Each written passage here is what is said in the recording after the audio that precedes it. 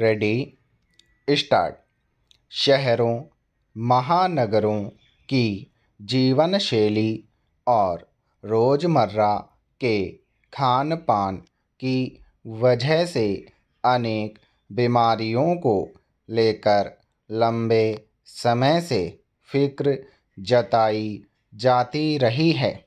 लेकिन इन बीमारियों की वजहों और जड़ों को समय रहते रोकने के लिए अब तक कुछ घोषणाओं से आगे बढ़कर कोई ठोस पहलकदमी नहीं हुई।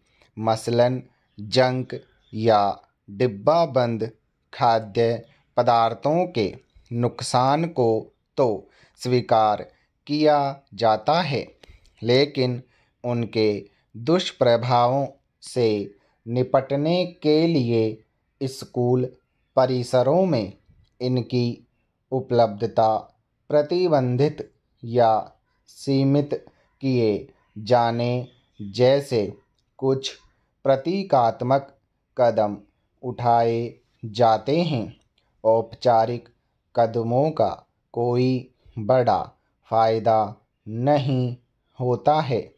इस तरह के खान पान के अभ्यस्त हो चुके लोगों या बच्चों के लिए खुला बाज़ार ऐसे खाद्य पदार्थों से भरा पड़ा है जो उनके स्वाद के लिए तो अच्छा होता है, लेकिन लंबी अवधि में उनकी सेहत के लिए बेहद हानिकारक साबित होता है।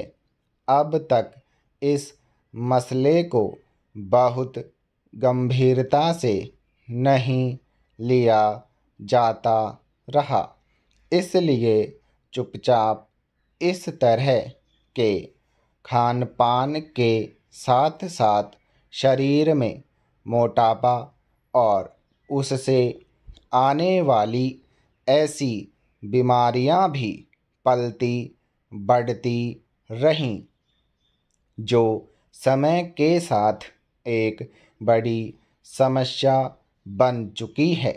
अब नीति आयोग एक नए प्रस्ताव पर विचार कर रहा है, जिसकी पीछे मकसद मोटापे से होने वाली बीमारियों की रोकथाम है, लेकिन इसके लिए इस स्थिति को पैदा करने वाले कारकों का नियमन किया जाएगा।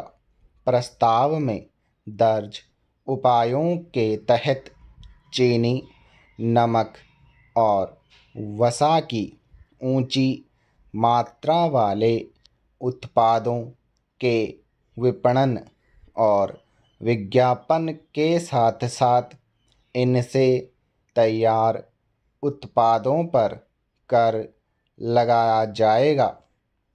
इसके अलावा front of the pack labelling जैसे कदम उठाने पर भी विचार चल रहा है, जिसके ज़रिए उपभोक्ताओं को अधिक चीनी, नमक और वसा वाले उत्पादों को पहचानने में मदद मिलती है। दरअसल, सरकारी शोध संस्थान नीति आयोग की 2021-22 की वार्षिक रिपोर्ट में देश की आबादी के बीच मोटापे की बढ़ती समस्या को लेकर चिंता जताई गई है। यह किसी से छिपा नहीं है कि मोटापे की वजह से आज दुनिया भर में लोगों की सेहत के सामने किस तरह की चुनौतियाँ खड़ी हो चुकी हैं। यह समस्या हमारे देश में ज़्यादा जटिल इसलिए है कि मोटापे को लेकर लोग समय रहते नहीं, सावधान नहीं होते और इसके प्रति नकारात्मक धारणा आम नहीं पाई जाती है। विडंबना यह है कि संसाधनों की आसान उपलब्धता के बीच हमें पता भी नहीं चलता कि हमारे खान पान में कब वैसे खाद्य उत्पाद शामिल हो जाते हैं, जिनके मूल तत्व शरीर का वज़न बढ़ाने के मुख्य कारक होते हैं। स्टॉप।